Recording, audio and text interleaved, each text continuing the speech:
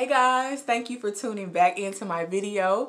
For those of you who are returning, welcome back. For those of you who are new, thank you so much for tuning in. Go ahead, subscribe, share this video, like it, comment, all of those good things, okay? So today's video is going to simply be about how you can lose weight without even exercising. Mm. Uh, just by simply counting your calories and keeping track of that um, that'll help you to lose weight. So that's what I'm going to explain in this video. How to be in a calorie deficit in order to lose weight. So if you're interested, stay tuned. Here we go. Okay, so first things first.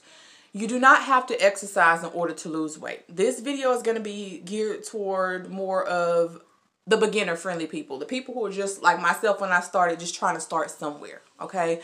So if you're not ready to exercise, you're not physically in that condition, and you just want to create a habit, this is what you can do. Okay. Because diet, what you eat, that's going to make up 80% of the results that you see long term. Exercising is going to be about 20%.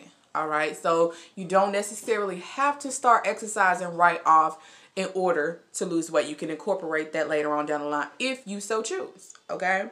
So basically the way you do that is by being in a calorie deficit and I'm gonna look down for my definition what a calorie deficit is is to consume which is eat or drink less calories than you burn on a daily basis okay so whatever amount of calories you're eating right at this very moment you just want to eat fewer okay and that will help you to lose the weight all right. So the first thing that you need to know in order to even start is how many calories you currently eat on a daily basis to maintain your current weight.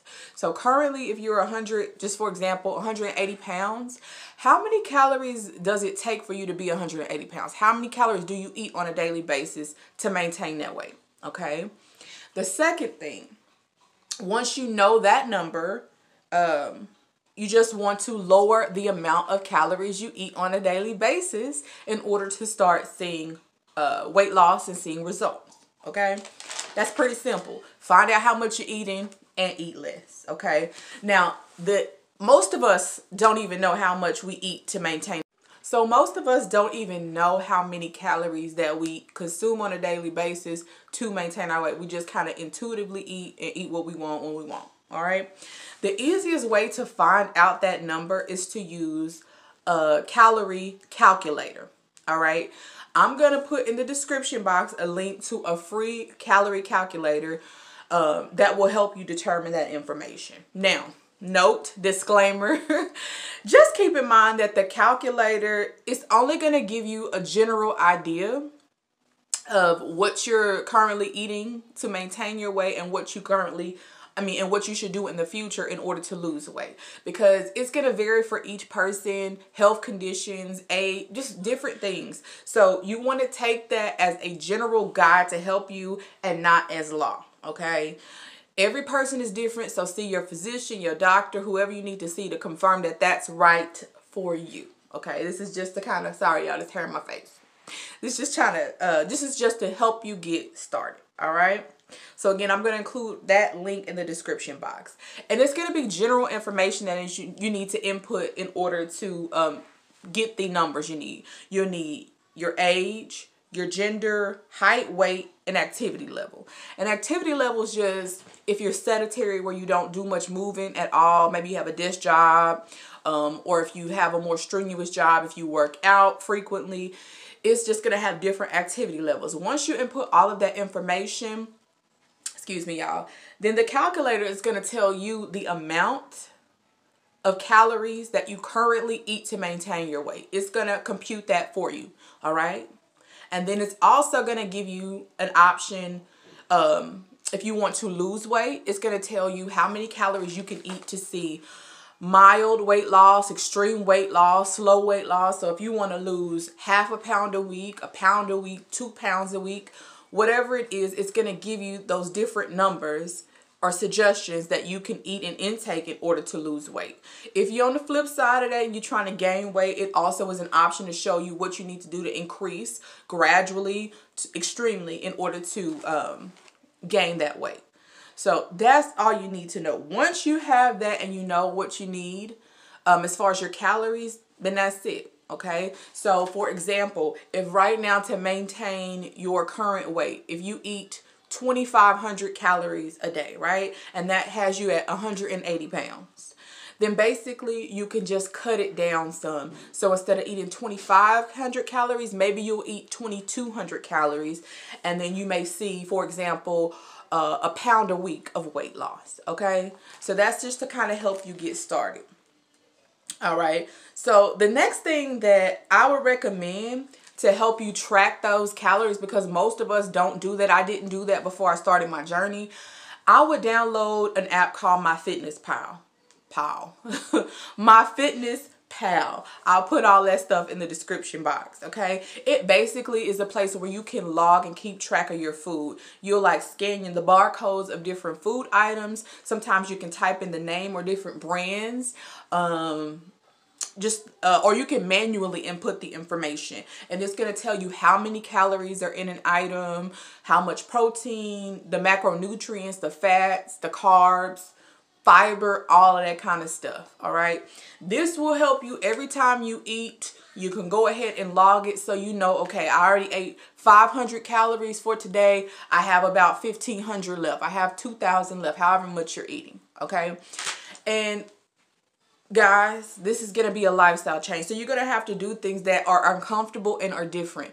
You're going to have to start paying attention to labels. I never paid attention to labels before. I would just eat whatever it was, you know, a little snack. For example, if you work in an office type of setting, uh, most of us rush to get our kids ready for school. We rush to get ourselves ready for school. By the time we sit down to eat, before we have to go to work or start our day, we have five minutes to get on the clock, and you usually go to a vending machine, right? Get you a honey bun and some orange juice, right? That's light. That's just something to hold you. And sorry, that's my baby. That's just something to hold you over until, you know, you can eat. Do you know how many calories are normally in the honey buns, especially ones with all the frosting and stuff? It could be like four to 500 calories in one small honey bun orange juice, especially the artificial, the one that's not natural with all the sweet and sugar and stuff in there, it could be like two, 300 uh, calories in the drink. Okay.